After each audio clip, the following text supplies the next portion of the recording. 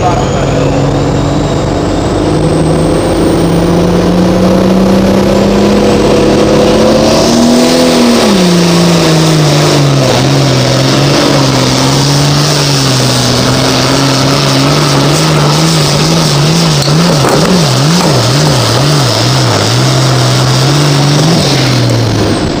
tell you what, he kind of got in the same problem. Hurricane Lamar had there. A little bit of a bounce.